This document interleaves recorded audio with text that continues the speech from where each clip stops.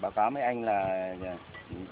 chúng tôi thì ờ, là cái, bản thân tôi là Hoàng Văn Bằng ờ, đơn vị là trung tâm kiểm định giám sát công trình lợi nông nghiệp phát triển nông thôn tỉnh Phú Phúc lên để giám sát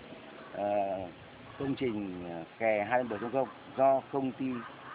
cổ phần xây dựng Quang Minh thi công. Cái đơn vị thì hiện nay đơn vị là thi công thì có một số những cái tên là thi công hệ thống dầm của mái kè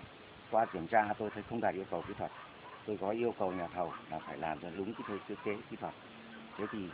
ví dụ như cái chát đai của nó là hai hai mươi, ông buộc lên 30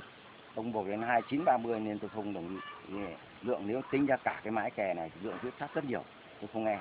Và tiếp theo một số cái kiểm tra, cái chiều cao của nó là là cũng không được đạt theo thiết kế, nhưng tôi có yêu cầu sửa lại. Thế thì nhà thầu đơn vị thì thì ờ, không nói gì cả, nhưng sau đó rồi thì tôi có điện về báo cáo bên chủ đầu tư là tình hình hiện nay là là đơn vị thi công là tình hình là ờ, có ờ, làm sai thiết kế như thế để các anh có cái biện pháp xử lý như thế nào đấy. Là quyền các anh phải lúc anh kiểm tra mà không thấy chúng tôi ừ, mà làm sai các anh đi chúng tôi mới chết.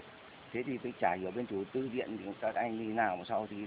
đến 3 giờ chiều hôm qua anh điện, anh uống rượu anh thế nào không biết, nhưng mà anh điện được anh đe tôi, anh đánh tôi tôi tưởng anh đùa đến đêm hôm qua đến 8 giờ tối hôm qua là anh đạp vào phi cửa vào đạp vào cửa chỗ nhà tôi ở trọ anh nhau ấy. Vào cứ thể đánh đấm đá đánh tôi túi bụi cả. Thì giàu quá thì xong tôi kêu phải là ngước lên xong cuối cùng mãi thì là anh bỏ anh về thì dân làng ấy sang để gỡ cho tôi ra. Xong đó thì tôi có báo chỗ công Dương công an xã công Dương sang làm cái ờ, biên bản theo lời khai của tôi và sau đó đưa tôi về cấp cứu ở cái bệnh viện A. Nên là cái cái, cái việc mà đi nhà thầu đi thi công như thế này là hoàn toàn tôi không nhất trí.